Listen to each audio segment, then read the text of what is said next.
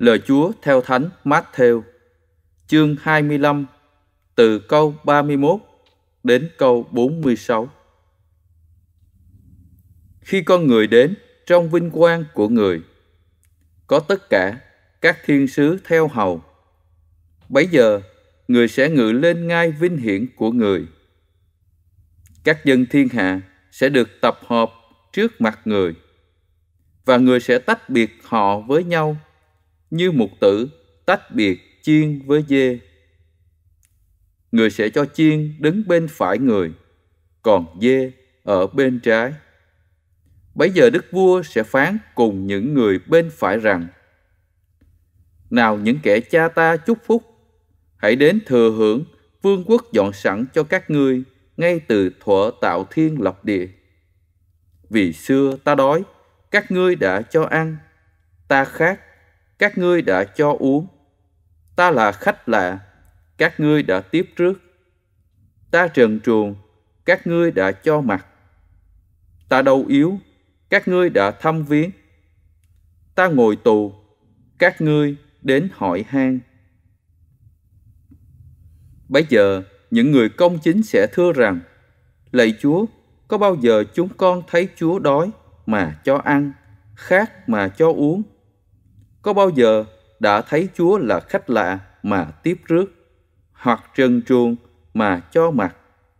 Có bao giờ chúng con thấy Chúa đau yếu hoặc ngồi tù mà đến hỏi han đâu?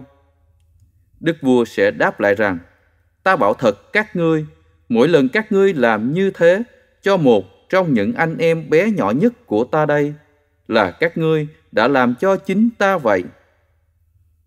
Rồi đức vua sẽ phán cùng những người ở bên phải rằng, quân bị nguyền rủa kia, đi đi cho khuất mắt ta, mà vào lửa đời đời, nơi dành sẵn cho tên ác quỷ và các sứ thần của nó. Vì xưa ta đói, các ngươi đã không cho ăn, ta khát, các ngươi đã không cho uống, ta là khách lạ, các ngươi đã không tiếp trước; Ta trần truồng, các ngươi đã không cho mặt Ta đau yếu và ngồi tù, các ngươi đã chẳng thăm viếng. Bấy giờ, những người ấy sẽ thưa lên rằng, Lạy Chúa, có bao giờ chúng con thấy Chúa đói, khát, hoặc là khách lạ, hoặc trần truồng, đau yếu hay ngồi tù, mà không phục vụ Chúa đâu? Bấy giờ người sẽ đáp lại họ rằng, ta bảo thật các ngươi, mỗi lần các ngươi không làm như thế cho một trong những người bé nhỏ nhất đây, là các ngươi đã không làm cho chính ta vậy. Thế là họ ra đi để chịu cực hình muôn kiếp, còn những người công chính ra đi để hưởng sự sống muôn đời.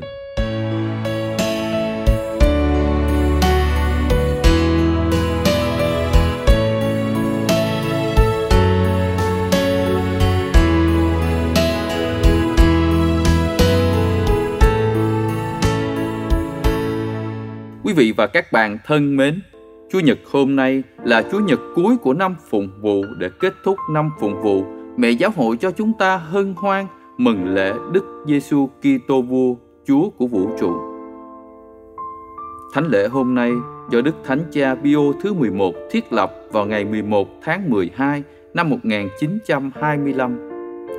Điều Đức Thánh Cha muốn nhắn nhủ cho mỗi người chúng ta là khi thiết lập thánh lễ này là phải tin Đức Giêsu Kitô là đấng cứu chuộc duy nhất của nhân loại. Bởi vì người chính là vua của toàn thể vũ trụ.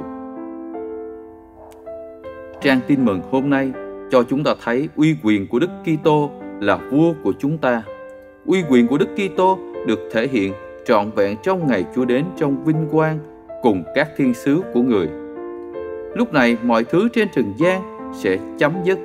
Uy quyền của Đức Kitô sẽ biểu lộ qua việc người xét xử từng người. Sau đó, người sẽ kết thúc cuộc sống cũ để đưa nhân loại vào đời sống mới trong vương quốc của Chúa. Lúc này những ai được Chúa Cha chúc phúc sẽ được hưởng cuộc sống đời đời trong nước Chúa. Còn những kẻ làm điều gian ác sẽ bị nguyền rủa và tống vào lửa đời đời, nơi dành sẵn cho những tên ác quỷ và những kẻ thuộc về nó. Vậy chúng ta phải làm thế nào để xứng đáng sống vương quốc của Đức Kitô là vua của vũ trụ. Vương quốc của Chúa được thiết lập để dành sẵn cho những tâm hồn khao khát và sống chết cho tình yêu. Nên những ai muốn được Chúa ban quyền trở nên công dân trong nước Chúa thì cách duy nhất là phải biết yêu. Bởi vì bằng việc xét xử từng người trong ngày cuối cùng, Chúa Giêsu chỉ vẽ cho mỗi người chúng ta con đường để vào nước trời. Đó là phải làm những việc lành cụ thể cho người đói ăn, cho người khát uống, cho người trần truồng rách rưới ăn mặc, thăm viếng những ai tù đầy, nâng đỡ những người yếu đau, thăm hỏi những người bất hạnh. Cuộc sống trên trần gian rất ngắn bởi vì tất cả những thứ như của cải, quyền lực, địa vị, sức khỏe là nhất thời, không bao giờ trường cửu. Trong giây lát nó sẽ tan biến như sương mai, nhưng có những điều rất nhỏ bé, rất dễ và luôn nằm trong khả năng của con người sẽ làm cho con người được bền vững trong hạnh phúc thật, đó là sống bác ái. Khi biết được bí quyết dẫn đưa chúng ta vào sự sống an bình muôn thuở, nên chúng ta phải vui vẻ thực hành trong cuộc sống, kẻo đến ngày Chúa đến sợ rằng không còn kịp nữa. Muốn được hăng say thực hiện giới luật yêu thương của Chúa, trước hết mỗi người chúng ta phải cầu xin Chúa ban cho một đức tin vững mạnh. Khi có đức tin sâu thẳm, chúng ta sẽ dễ dàng nhận thấy Chúa trong những người đau khổ, dễ dàng yêu mến Chúa trong những người đau khổ. Từ đó sẽ không bao giờ để cho những người đau khổ về tay không khi họ cần đến cách sống tin mừng của chúng ta. Thứ đến, chúng ta phải xin Chúa cho chúng ta tin rằng khi sống bác ái, chúng ta sẽ có phúc và khi bỏ qua cơ hội để sống bác ái thì chúng ta sẽ mất phúc. Cuối cùng, chúng ta phải cần đến mẹ Maria bởi vì đời sống của mẹ luôn là mẫu gương hợp thời để chúng ta sống tin mừng yêu thương của Chúa. Xin Chúa luôn đồng hành và giúp chúng con luôn vui vẻ thực hành lời dạy yêu thương của Chúa như là điều kiện duy nhất để chúng con gia nhập vào vương quốc tình yêu trên trời. Amen.